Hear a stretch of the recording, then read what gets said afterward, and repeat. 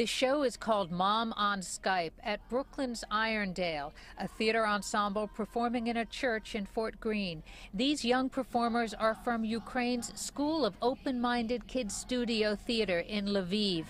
Two months after the invasion began, these children were performing these songs and monologues about family separation as bombs were dropping, and that caught the attention of this Brooklyn theater company. I read an article in the paper about uh, them doing a show in a bomb shelter in Lviv.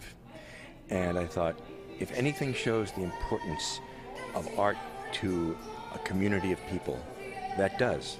There are bombs falling outside the window, and what do they choose to do to put on a play? It was much more than a 26 hour trek to Brooklyn via Poland.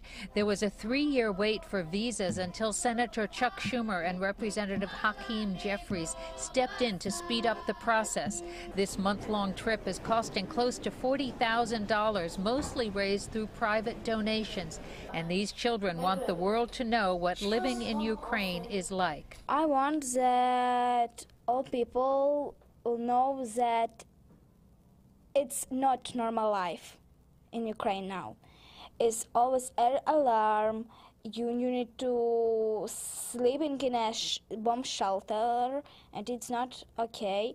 Besides the play, these Ukrainian children went to see the sights of New York City, including Coney Island. It was so scary, but it's so cool and it's a good memories. 12 year old Hannah wrote this patriotic song about Ukraine and is hoping people understand why their fundraising goal is to buy a fighter jet to help protect their homeland.